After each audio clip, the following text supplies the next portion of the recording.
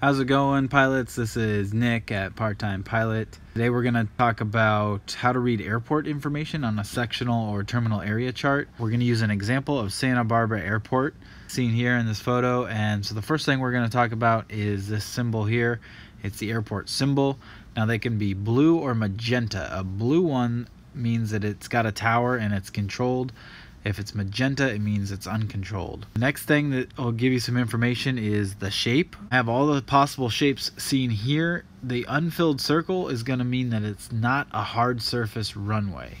Okay, now the filled circle with the runway outlined inside is going to mean it is hard surface and it's anywhere from 1500 feet to 8,069 feet long. And then the third possibility is going to be just the runway outlined in bold, either blue or magenta, and that is again hard surface runway greater than 8,069 feet long. You'll also see on either one of these, you're going to see a little open circle. You could see it or you could not. In Santa Barbara, as you can see over here, there is not a uh, open circle. But if you do see the open circle, it's the approximate location in reference to the the runway of a VOR or VORTAC. Okay, so there's one more thing that the airport symbol can show us, and it's these little knobs on the side of the circle, as you can see in Santa Barbara. That means that the airport and the uh, runways they have fuel services available. Okay, so moving on, the next thing is this little star right on top. This is this means that a rotating beacon is in operation from sunset to sunrise at this airport. So Santa Barbara has fuel services. It's hard surface. It's 1500 to 8069 feet long and it has a rotating beacon from sunset to sunrise. Okay, moving on, you're to see a CT. So CT means control tower and it's to follow it it's to be a frequency and so the controlled tower frequency for Santa Barbara is 119.7.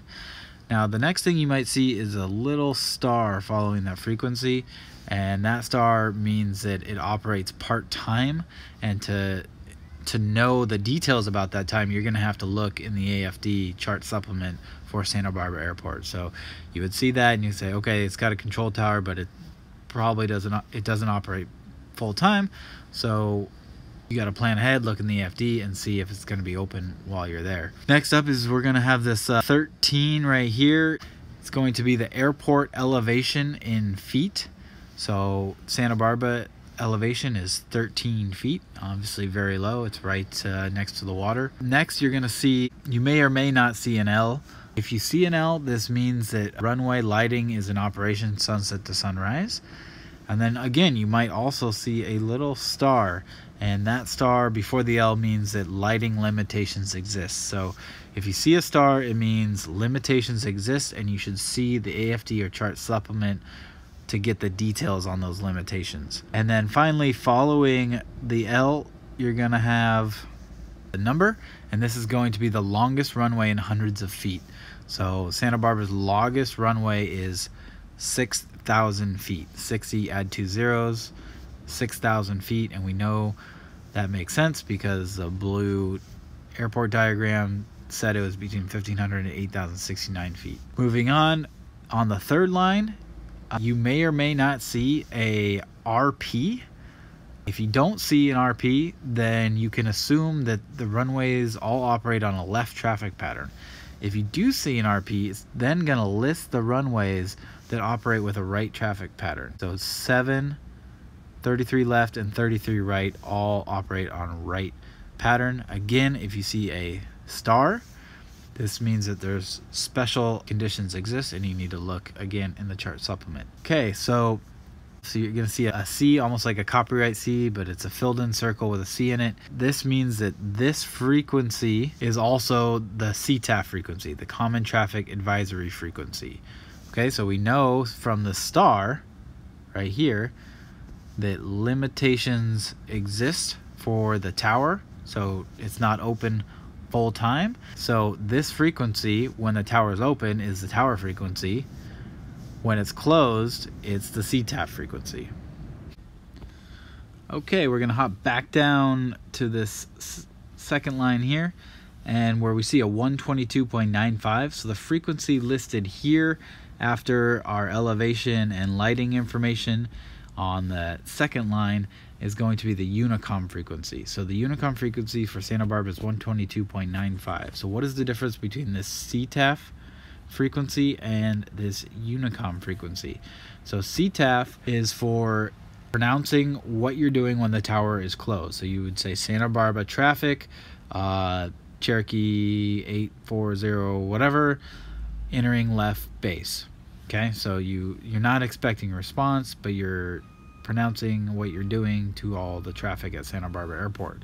The Unicom frequency is a frequency for a ground station where you could expect a response. Now, some Unicoms are very high level and will give you a lot of information, and then some might just give you wind or open runways or fuel services. Okay, so back up to this first line here is you're going to see ATIS followed by a frequency, and this is simply the ATIS frequency, ATIS frequency, which is the Automatic Terminal Information Service, which is going to give you the weather, uh, up-to-date weather um, every 30 minutes or so for Santa Barbara Airport.